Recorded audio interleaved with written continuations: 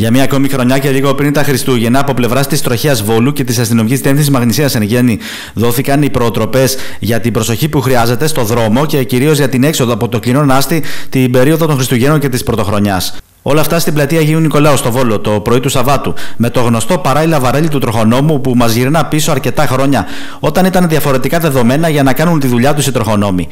Παράλληλα, αστυνομικοί της Διεύθυνσης Θεσσαλίας βρέθηκαν στην πόλη του Βόλου και από κοινού με συναδέλφους τους από τη Μαγνησία διάνυμαν ενημερωτικά φυλάδια στον κόσμο. Οι δράσεις μας αυτές αποσκοπούν στο να αποδείξουμε και να δείξουμε ότι η αστυνομία, η ελληνική αστυνομία αλλά και κυρίως η Διεύθυνση Αστυνομίας Μαγνησίας αποτελεί αναπόσπαστο κομμάτι της τοπικής μας κοινωνίας.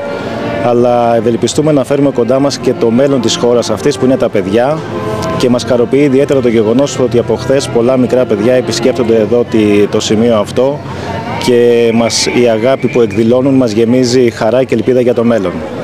Παράλληλα, οι άντρες και οι γυναίκες σε όλες τις διεύθυνσεις και κυρίως οι στροχές βρίσκονται έξω στους δρόμους, στο οδικό δίκτυο, στο δημοτικό και εθνικό, λαμβάνοντας έκτακτα μέτρα τροχέας να διευκολύνουν πεζούς και οδηγούς, τους οποίους καλούμε να σέβονται τους κανόνες οδικής κυκλοφορίας. Έχουμε αναβιώσει ε, ένα έθιμο 80 ετών το τροχονομικό βαρέλι, όπου εδώ όποιος επιθυμεί και ιδίως οι μικροί φίλοι μας μπορούν να μπαίνουν σε αυτό το έκθεμα που βρίσκεται δίπλα μου και να φωτογραφίζονται.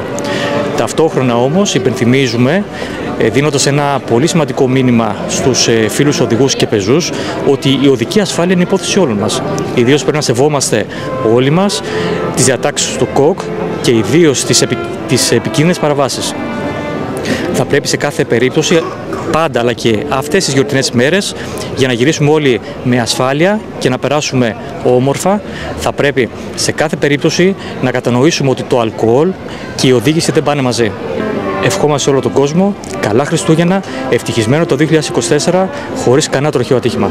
Εν τω μεταξύ, σε μια λιτή εκδήλωση που πραγματοποιήθηκε το απόγευμα της Παρασκευής στην αίθουσα εκδηλώσεων της Αστυνομικής Διεύθυνσης Μαγνησίας, που συνδιοργάνωσαν η Αστυνομική Διεύθυνση Μαγνησίας, η Ένωση Αστυνομικών Υπαλλήλων Μαγνησίας και η τοπική διοίκηση της Διεθνούς Ένωσης Αστυνομικών, βραβεύτηκαν το Αστυνομικό Τμήμα Αλμυρού, το Αστυνομικό Τμήμα Ρίγα Φεραίου και το 100 για τη συνεισφορά τους στις φωτιές και στις πλημμύρες που έπτυξαν τις περιοχές ευθύνης τους, ενώ παράλληλα βραβεύτηκαν παιδιά αστυνομικών τα οποία πέτυχαν την εισαγωγή τους στην τριτοβάθμια εκπαίδευση, αθλητές που πέτυχαν σε αθλητικές διοργανώσεις καθώς και απόστρατοι αστυνομικοί.